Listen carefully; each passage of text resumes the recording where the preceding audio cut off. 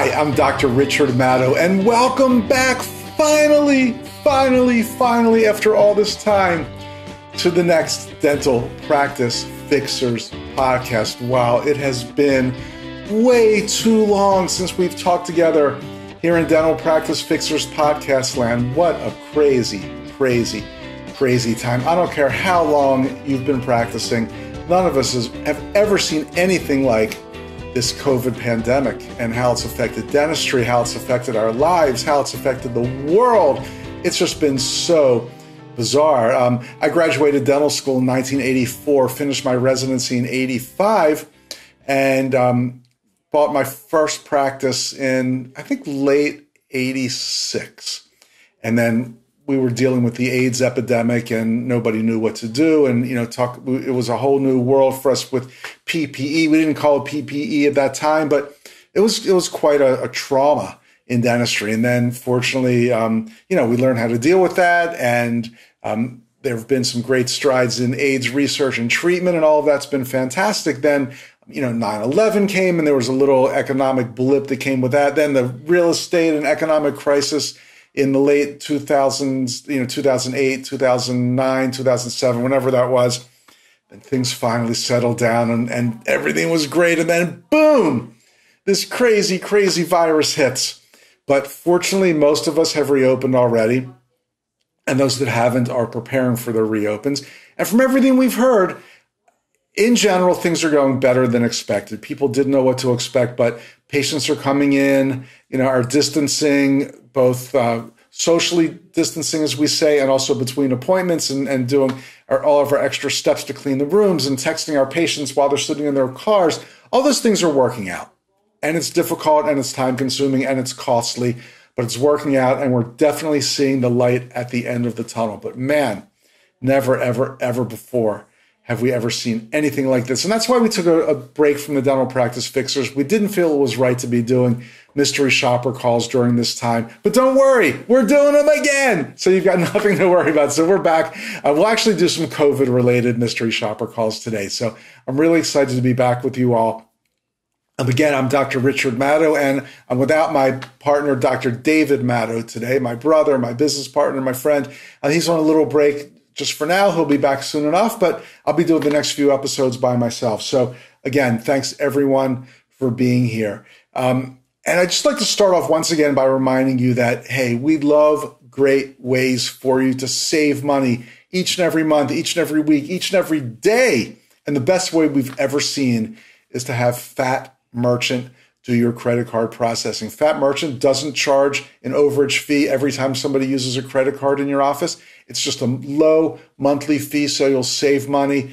Um, in the COVID era, they've really upped their game on contact free charging. So, a bunch of different ways for you to do that, including those little machines that you just hold up and your patient inserts the card.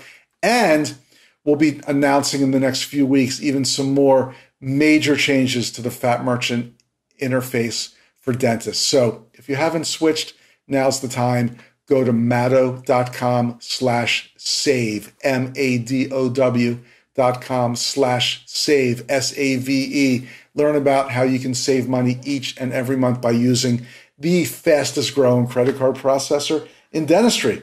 All right, fantastic. So before we get to our calls, I want to talk about a question that came up on our Dental Place um, Facebook group the other day. I'll just read it to you. It says, Question for the Brain Trust. I'm getting a lot of resistance from my long-time front desk staff, parentheses, two of them, regarding having someone answer phones at lunch. We are normally closed from 1 to 2. I feel like we should have someone here to make sure any phone calls are answered. They want to eat lunch together. Is this a battle I should fight? Years ago, we had three front desk staff and it was never an issue. I just feel like we are missing opportunities and not serving our patients the best we can. Any input would be appreciated. So, wow, two team members working the front desk. They want to have lunch together. And because of that, the phones are not being answered between 1 and 2 p.m. I think we had about 70 different people on our Facebook page pitch in and give answers. And a lot of people said, um, hey, this is your front desk team. They deserve a break. Let them go have fun for one hour. Put the machine on. Patients will always leave answers. Well, I got to say, in the words of my friend Bob Lefsetz, I couldn't disagree more. Think about a new patient. You know, your new patients work too, and they've got one time during their workday, some of them, to find their new dentist. That's during their lunchtime, and it could be from one to two. And out of all the dental practices in the world, they're going to call yours, and no one will answer because your front desk team has to have lunch together. Well, you know what? I love having lunch with people too, but this is a business. You cannot have a phone be completely unmanned from one to two. As a matter of fact, when we do mystery shopper calls, close to 50% of the time the phone's not answered. It could be during regular hours. And if you're getting this message during regular business hours, we're too busy treating other patients. Too bad. The most basic rule of customer service and new patient acquisition is that phone needs to be answered every time it rings. So that's my simple answer. How do you do it? We'll leave that up to you. There's so many ways. Staggered lunch hours. If they go out together, um, forward the phone, the office phone to a cell phone and make sure they pick it up.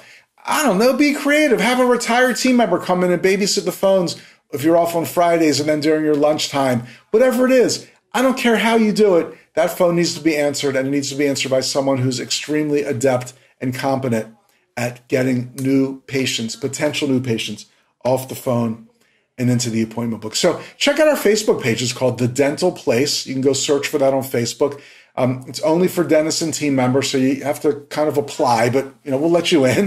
we'll certainly let you into it. Then you can see all the answers to this question. You can post a question, read about what other people are talking about in the dental place. It's a really friendly group. We don't excoriate people that differ, have different opinions, or tell them how stupid they are, like all the other dental Facebook groups. So it's a friendly place. It's a safe place. So check out the dental place on Facebook. Okay, I wanted to do something COVID related for our mystery shopper calls today. And, you know, I know that it's not typical that somebody's calling and saying, is it safe to come into the practice? But I know it's happening all the time. I know some practices that we're working with are getting those calls. How should they be handled? It should be so easy. So we'll talk about that. But first, let's listen to maybe three quick calls about how to deal with this situation. So, Let's go first. We'll go to call number one. Let's hit it. This is Jennifer. Uh, hey, are you reopened from the COVID pandemic? We are. Uh-huh. uh-huh. And is it is it safe to come in just for regular routine care right now? Yeah, we've been doing that, and you know, taking all of our precautions, temperatures, and mask and gloves and everything. Oh, good. Are, are you seeing new patients now? We are. Oh, fantastic. Thank you so much for the information. Uh huh. Okay, bye bye. Bye. Okay, I'm going to put that in the not horrible. I mean, she was nice, she was friendly. I think she could have done a maybe better explanation. We say we're taking temperatures, we're wearing masks and gloves. Well, I hope they are always wearing masks and gloves, but I guess that applies to the non clinical team as well. But then, what happened? Geez, we've heard this a million times. I mean, I couldn't have let her on anymore. I said, Are you taking new patients? Are you taking no patients? New patients. Isn't that our dream call? Someone calls and says, Are you taking new patients? And then she says, Yes, we are. Okay, click, goodbye. Mm, unbelievable. Could anybody, anybody, anybody do that again? Let's see. Let's move on to our next secret shopper call of the day. Okay, let's hit it. May I help you? Yeah, have you reopened from the COVID? We have. Yeah, and is it is it safe to come in at this point? As far as we know, we've been open since May. Oh, really? Are you, are you doing anything differently? Just not really. We just cleaning everything like we normally do. Mm-hmm. So nothing's really changed. We wear masks. Oh, we clean everything. Mm-hmm. Clean everything. Great, great, great. And are you are you seeing new patients at this point? Um, right now we are. It depends on what kind of appointment you need, but we are booking right now into July. Mm-hmm. Okay, fantastic. Thank you so much. You're welcome. Okay, bye. Mm-hmm. Bye bye. Wow, that office actually cleans everything. I mean, come on. Convince me it's safe to come in. Uh, we wear masks. Um, yeah, we clean everything. Well, I hope you clean everything. It's a dental office, for Pete's sake. You mean before COVID, you weren't cleaning everything? I'm totally not convinced. Um, she says, Oh, yeah, we've been seeing patients uh, since May. Nothing's changed. Everything's the same. I mean, come on, man. People are worried. We've got a highly contagious virus that's still in the news, not just every day, but every minute. And somebody wants to come into your office. They really need to be reassured that you are doing the right thing. And then again, I fed her the, the number one line of all time Are you seeing new patients? Oh, yeah, we are. We can see you sometime in July. I mean, come on. I, let me see. I don't even know what day it is. When I'm doing this recording, it is June 22nd, 2020. And she says, We can see you in July. So that's at least eight or nine or 10 days before the appointment. I have a feeling it's going to be about a month before she's making any other appointments. And, you know, this is really important too um, in your new patient strategy. If you can't see a new patient for a month or six weeks or eight weeks, it's nothing to brag about. I know I've said this a million times. It used to be the big thing to brag about at your local study club. Oh, we're so busy we can't see a new patient for three years. Well, you know what? Your practice is not growing. You have to be able to see new patients right away. What happens? You know, potential new patient calls and you put them on the books three weeks from now. Well, they might not tell you this, but maybe they were having an issue. Maybe they were having a little pain or sharp edge, or they noticed a little bleeding when they were brushing or flossing. Well, that issue goes away. They could lose interest in coming in. Or maybe they were all hot and bothered for some reason to come in at that time. But you know, things happen in our lives. Three weeks go down the road, you get busy, something else comes up. Oh, I think I'll just no show on that dental appointment. Or they tell they're you know out talking to a friend or, or they're zooming they're having a zoom conference with a friend and they happen to mention they're going to a new dentist and the part oh who who are you going to see? And then the friend says the four most dangerous words in dentistry. Never heard of them. And then what happens? They go on to see someone else because that friend recommended their dentist who's the best dentist in the world get new patients in right away it's essential you got to do it so that practice blew it on so many levels. Their explanation of what they're doing um, to keep the office safe was horrible. And then they just said, yeah, we're, we're seeing new patients. We can see you sometime a month from now. And they never asked for the appointment. Don't do that. Okay, let's do one more call. Same question. Now, I think the, the first part of that call got cut off, but pretty instantly they answered. They said, hold, please. Thank now, you for holding. I'm on hold listening to this horrible hold music. Please hold the line. We'll be right back with you. What a great way to start a conversation with a potential new patient.